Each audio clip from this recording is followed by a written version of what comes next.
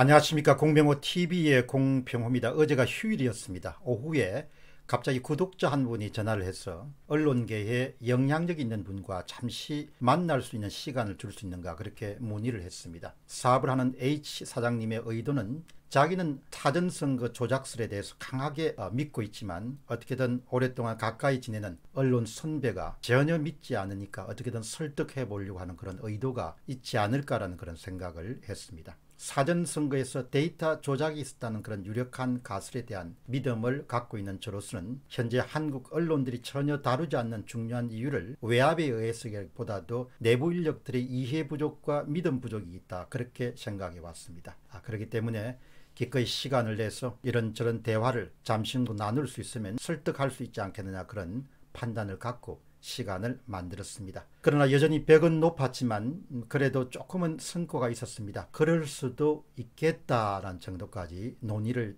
전개하고 그 다음에 헤어졌습니다. 중요한 것은 문과 출신이고 오랫동안 글을 써오신 분들은 물리적 세계와 사이버 세계를 구분하는 일이 쉽지 않고 또 사이버 세계에서 기상천외한 일들이 일어날 수 있는 놀라운 일들이 일어날 수 있는 이런 점을 인정하기가 그분들에게 쉽지 않다는 사실을 다시 한번 확인할 수 있었습니다. 한 사업가의 정은 질문 던지겠습니다. 그런데 대화 중에 H 사장님이 흥미로운 이야기를 들려주었습니다. H 사장님이 이해찬 더불어민주당 대표의 지역구였던 곳에서 일어난 참으로 희상한 일입니다.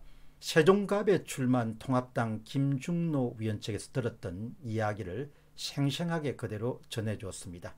H 사장님의 주장의 요지는 다음과 같습니다. 선거라는 것이 막판까지 그러니까 4월 15일이면 4월 14일 자정 그 때까지 조마조마하기 때문에 선거운동이 종식되는 14일 자정 끝까지 한 군데라도 더 유권자를 만나보려고 분주하게 움직이는 것이 바로 후보고 후보를 지지하는 사람들의 움직임입니다. 근데 이번 선거는 아주 달랐습니다. 이해찬 의원이 세종시에 한번 내려오고 휙 둘러보고 올라간 다음에 바로 선거 전날 저녁 무렵에 상대 후보 쪽은 이미 선거 결판이 났다는 분위기였습니다. 그러니까 4월 15일이니까 4월 14일 저녁 무렵에 함께 모여서 저녁을 먹고 자축하는 그런 기이한 일이 일어났습니다. 그 부분이 아주 이상했다고 그 반대측에 있는 야당 측의 분이 그렇게 전했습니다. 4월 4일 날 TJB 대전방송이 실시한 민주당의 홍승국 후보 그리고 김중노 후보는 5.6%의 오차 범위 내에서 41.4%대 김중노의 35.8%로 접전하고 있었습니다. 선거 결과는 압도적인 그런 승리로 끝났습니다. 56.45%대 32.79%로 일방적인 게임이 되었습니다. 이곳에서는 아실리아 TV의 조슈아님의 결과 분석에 따르면 사전투표에서 일방적인 밀어주기로 여당이 약 4,600표를 더했다는 그런 추정 결과입니다. 추정 결과를 얻은 바가 있습니다. 앞으로 재검표가 이루어지더라도 승부를 뒤집을 수 없지만 만일에 재검표가 실시가 되면 양당 후보 사이의 득표율 차이는 상당히 좁아질 것으로 그렇게 봅니다. 선거 전날 상대 진영의 선거 캠프 분위기를 보고 김중노 의원 측은 좀 이상하다 이렇게 생각했습니다. 선거 막판까지 마지막까지 돌격 앞으로 하는 것이 바로 선거전인데 선거 전날 저렇게 저녁에 회식을 할 정도로 느슨한 분위기라는 이야기는 뭔가 알고 있지 않았겠느냐 그런 의심을 했다고 합니다. 그러나 선거가 끝나고 난 다음에 사전투표 조작 의혹이 불거져 나오면서 아 그 당시에 왜 그렇게 했을까 내려온 이해찬 대표는 사전에 쪽집게처럼 선거 판세를 알고 있었던 것은 아닐까 그런 생각과 그런 의심과 그런 의구심을 야당 측에서 갖게 됐다. 그런 이야기를 어, 어제 H 사장님이 전해주었습니다. 이해찬 대표가 알고 있었을까? 여러분은 어떻게 생각하십니까? 알고 있었을까요? 아니면 몰랐을까요? 다음 질문은 조작 의혹 사건의 핵심 포인트입니다. 이미 보도한 바와 같이 이번 사건의 핵심 포인트는 조작값과 보정값에 있을 것으로 추정됩니다. 조작값과 보정값. 다른 여러 가지 방법들이 사용되었을 수도 있지만 전국을 볼 때 지역 차원에서 동일 비율로 일정한 통계적 패턴을 보이는 점이 이번 사건의 문제 해결의 핵심 사항이라고 봅니다. 이것은 디지털 데이터 조작 없이는 일어나기가 상당히 어려운 그런 사건일 가능성이 높다고 이렇게 볼 수 있겠습니다. 이미 이건영 더불어민주당의 전략기획위원장은 4월 16일 날 이번 선거의 결과를 자신이 정확하게 맞췄다는 취지로 광역별 판세라는 지역구 선거 결과 예측치를 발표한 바가 있습니다. 아주 정확했습니다. 이번에 드러난 민주당의 압승을 160성이 넘는 압승을 정확하게 민주당의 전략기획위원장인 이건형 씨가 맞췄습니다. 그리고 선거 바로 그 다음 날 자신의 페이스북에 광역별 판세라는 그런 테이블을 공개했습니다. 몇 석을 얻을 것인가를 예측한 겁니다. 여러분이 이, 이건영 위원장이 자신의 페이스북에 제공했던 그런 도표에서 특히 주목해서 봐야 될 것은 제목입니다. 광역별 판세란 바로 곁에 사전투표 보정값이란 그런 용어가 들어있습니다. 가로 안에 이것을 다르게 해석하면 또 정확하게 해석하면 이 용어는 사전투표 조작값입니다. 사전투표 조작값.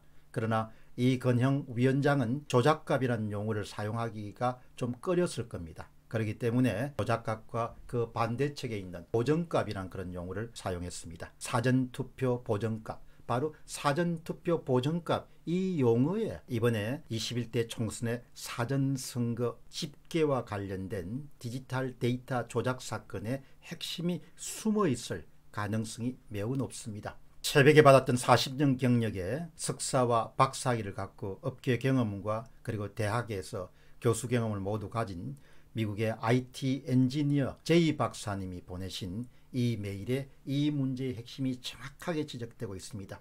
이건영 전략기획위원장이 사용했던 사전투표 보정값 바로 그 용어의 핵심이 있습니다. 그 용어는 제가 조금 전에 여러분 설명드렸다시피 보정값 대신에 조작값을 쓰는 것이 사실 올바른 표현이다. 제이 박사님 주장입니다. 이번 부정선거에서 핵심 가장 중요한 것은 무엇일까요? 바로 조작값입니다. 보정값입니다. 공 박사님도 잘 알고 있을 것입니다. 민주발전연구원의 이건형이 조작값을 만들었다면 누구에게 지시했을까요?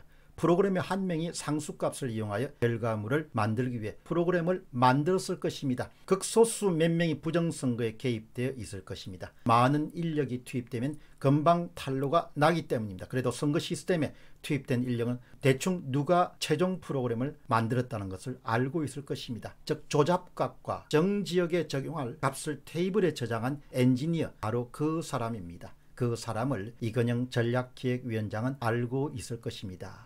이 내용이 제이 박사님이 보낸 이메일입니다. 여러분들이 분명히 말씀드리고 싶은 것은 제이 박사님이 40년의 IT 경험을 가지고 한국의 여러 유튜브들이 방영한 내용을 보면서 자신만의 직업적 경험과 이론의 바탕을 둔 그런 일종의 가설을 제시한 겁니다. 이 가설이 정말 확정되느냐 여부는 앞으로 검찰 수사를 통해서 낱낱이 밝혀지기를 바랍니다. 이 모든 정황을 종합하면 이번 사건의 세세한 부분은 극소수가 알고 있었지만 대체로 최고 수뇌부들 가운데 일부는 21대 총선에서 나올 수 있는 그 결과를 예상하고 있지 않았을까 그런 추측을 해보게 됩니다. 물론 당사자는 절대로 그런 일이 없다 이렇게 말하겠지만 석연치 않은 부분이 있는 것이 사실입니다. 아마 이 방송을 계속해서 들어오셨던 분은 여러분도 석연치 않은 부분이 있다는 점을 아마 인정하실 겁니다. 아무튼 추후에 이런 석연치 않은 부분들은 수사를 통해서 낱낱이 밝혀지는 정말 대단한 대한민국이 되기를 바라는 마음 간절합니다. 공병호 TV의 공병호였습니다. 감사합니다.